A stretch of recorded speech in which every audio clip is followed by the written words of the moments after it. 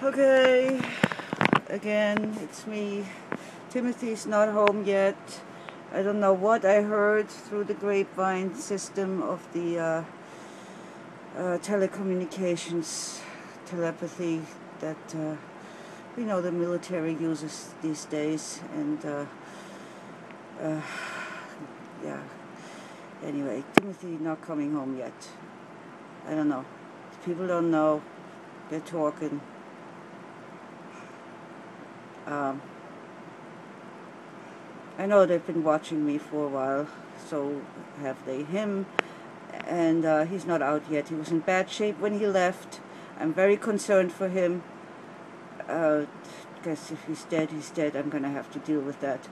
Um, uh, I don't know, I, I, I blame myself for not having gone down to the precinct immediately because I was still trying to, uh, couldn't trust the neighbors here, I was afraid to lose my house, our house.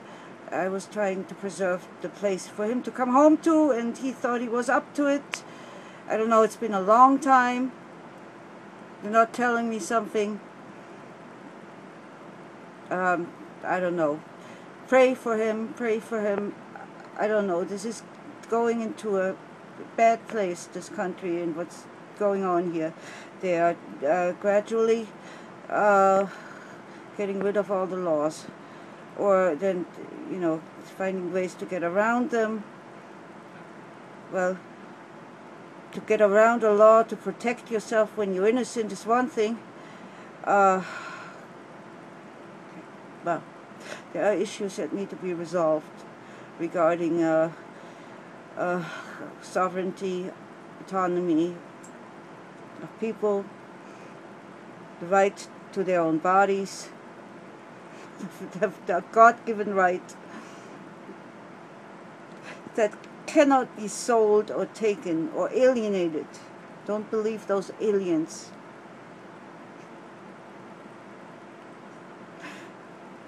they can show you what's wrong with you. They can see that. So can I. But they can help you. Only God can. And you. Take action before it's too late. You're supposed to work this stuff out here, not on the other side. Um, Timothy hasn't come home yet. He was in bad shape when he left. Uh, I know by now he's going to be needing his other medication. Uh, I've been needing it less and less.